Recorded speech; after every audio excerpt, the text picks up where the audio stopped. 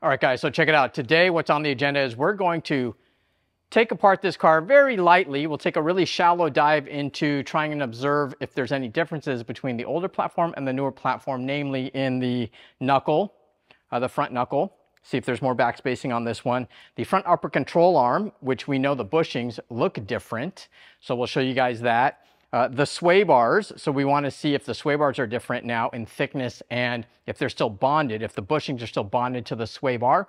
Uh, we've already mentioned in one of our prior videos, we'll share that over here, that the rear knuckle on the Performance Model 3, the, the new Highland one, has a bearing on both ends for toe and camber, or the, the toe arm and what would be the adjustable camber arm.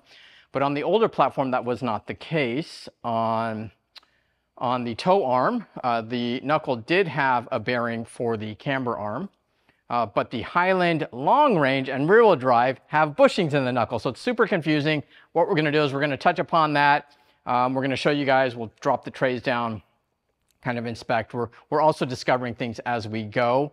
But uh, yeah, we're gonna try and test fit this Aspira AF10. This is the 1810 and a half and a 35 offset. Um, this wheel did require a spacer on the older platform in order to clear the knuckle. Keep in mind this vehicle does have two-piece rotors now, so it's as if it's already simulated a 5 millimeter spacer on it, but we'll touch upon that once we test fit this, and we will also attempt to test fit the 20 by 10 warp wheel with the 275 up in the front and see how that fits. So these are a couple of the sway bars from the older Model 3 Performance, the older platform.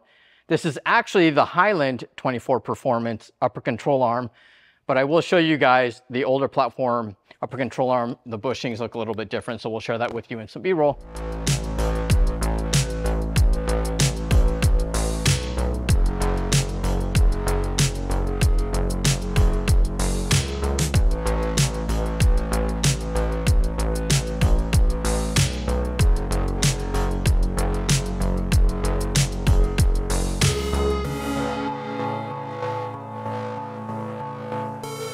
All right, so check it out, guys. My battery's busted on my caliper, so we're gonna do this analog, but we're at about 29 mils on this. Maybe it'll be 30, we can look it up, but I'm showing 29 mils on this. That's the front bar from the 2017 to 2023 Model 3 Performance, if they are all in fact the same.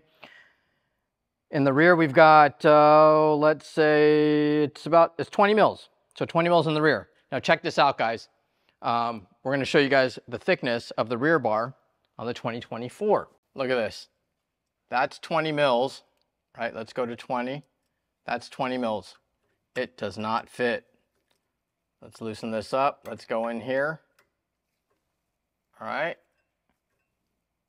25 mils. So we know for a fact the rear bar is thicker. But here's the thing. These bushings are like way, way softer. Because on the old bar, you could not twist this this thing did not move. They were bonded and they were really, really, really, really firm bushings. Um, so now let's go to the front and see what happened up front because that's a little puzzling too. So we're in here. This is the measurement for the older platform sway bar. Now check this out. It is loose. That means the new performance sway bar is actually thinner. So we've got about 28 mils, let's call it. So the older platform had a 30 mil front bar and a 20 mil rear bar. This one has a smaller front bar at 28 mils, but a thicker rear bar at 25 mils. Now, why do you think Tesla did that? Do you think it's to compensate for the staggered setup, the staggered wheel and tire setup? It's possible.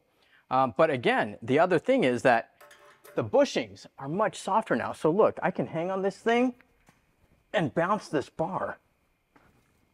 Could not do that before. You want to see that again? All right, guys, so check it out. We were about to install this Eibach bar on Tim's 24 Model 3 Performance, but then we realized that the sway bar mount is actually different. So notice this is the older Model 3 Performance, the older platform mount. It actually has a little hump right there.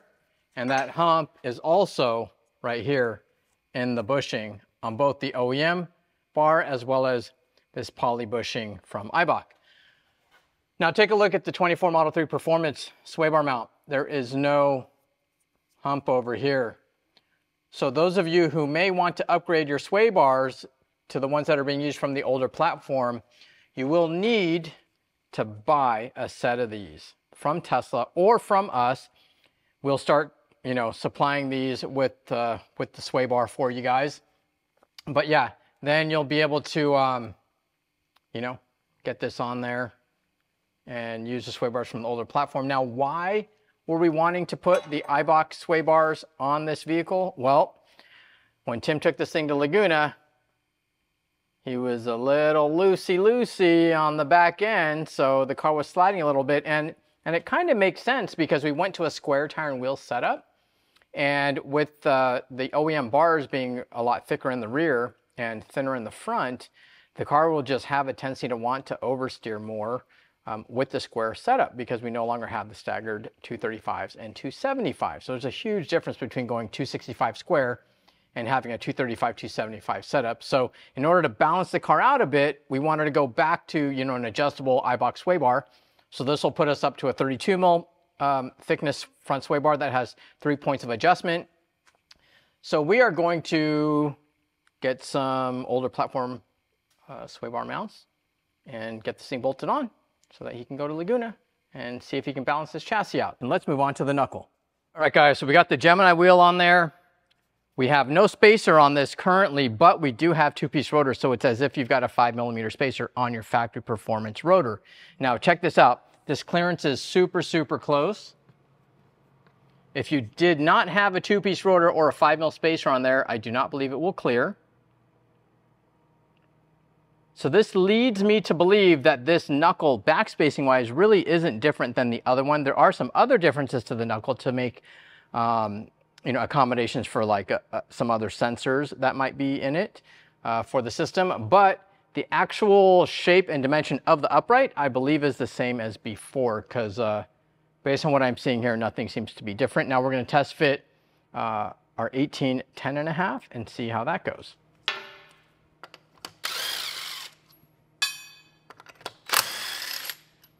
Okay, so check this out. As you can see, the knuckle itself, the upright, is curved. So your smaller diameter wheel will lose backspacing versus your larger diameter wheel until it gets to a certain point where you'll start losing backspacing as you go to a larger di diameter as well. So what I'm gonna do is I'm gonna show you guys exactly what's going on. We're gonna put this 18 on there. Now I actually already know that it probably won't clear based on what I saw with the Gemini. So I've got just some leftover uh, three mil spacers. I'm gonna stack two of them together. This is six millimeters, plus about the four to five millimeters we're getting here. So let's just say we're almost at a 10 millimeter spacer. All right, I'm gonna grab this beautiful AF10, 18, 10 and a half plus 35, and put this on there. Push this all the way in and you can actually hear it touching. And this did require about, I think, a 15 mil spacer on my Model 3. Um, so, yeah. That seems the same. With that said, I'm already confident the warp wheel will not work, but let's just see. It's a 20. Maybe it will with this uh, stack of spacers, so almost 10 mils of spacers. Again, that means it probably will not work uh, because finding a 10 mil spacer on stock studs is going to be very, very difficult.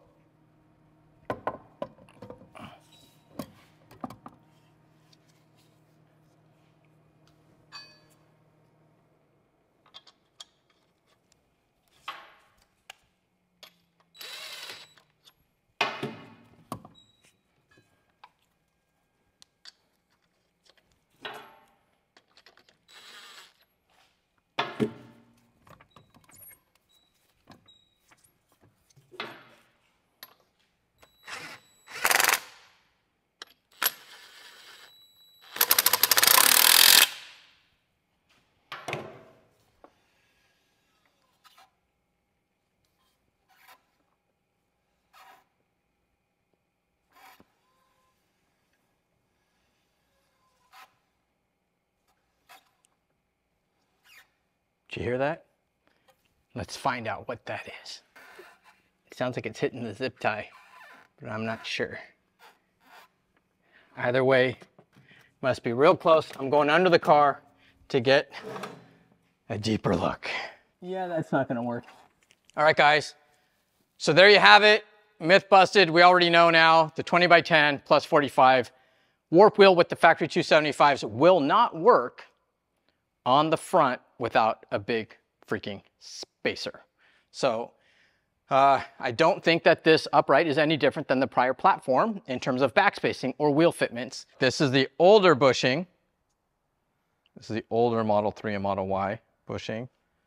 And this is the Performance Model 3, the Insane 2024 edition. So you can already see that there's a big difference there. Now check this out. And I'm pretty sure this is gonna be on all the bushings on the car, but this thing, look at that deflection, okay? Vice is holding it nice and strong. And this one, it's so rigid, the bushing, that it's actually moving the arm. The vice isn't hold, able to hold it. So this is like way, way softer. See this? This is like way softer. And this one can't even.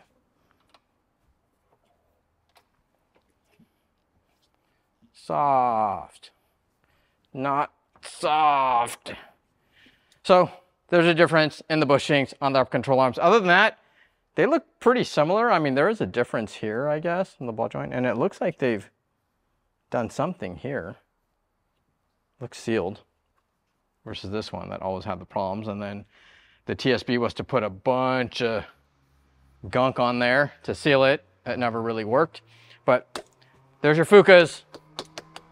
I don't give a Fuka. There you go. Uh, so now we're gonna go pop the rear wheel off. We're going to show you guys what's going on with the toe arms back there but we already changed the camber arm, so we can't really show you that, but I'll pull it from the box. So let's go. All right, so check it out, guys. So right here in the knuckle, you see that bearing? This is the toe arm.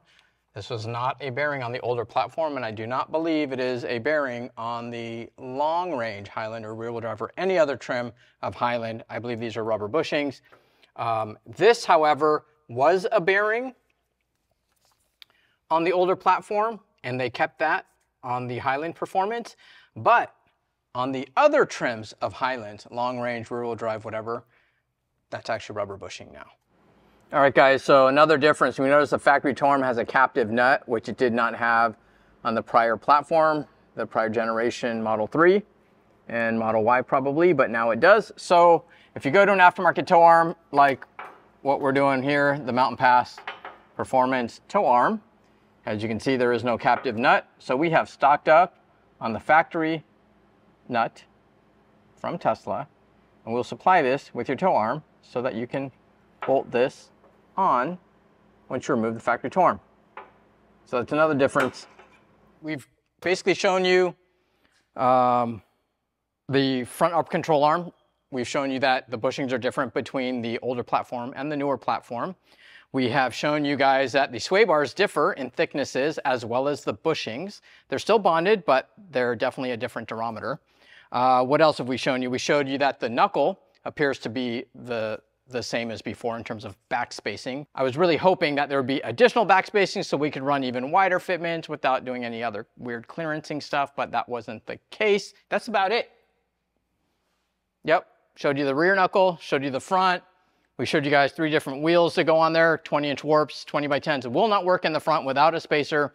And uh, that's about it, guys. So thanks for watching. We hope this was informative. Please don't forget to like, subscribe, and share. Hit that notifications bell so that you guys are informed of all of our new videos to be released. We have a ton more Highland content coming out. And don't forget to check out our Patreon account, patreon.com forward slash ZevCentric. It's $5 a month. It's super cheap. It's just the easy way to support us and all that we do. And again, we appreciate you guys. Check out the links in the description below for anything related to the Highland or our website or whatever we got. But we thank you and we love you. We'll see you on the next one.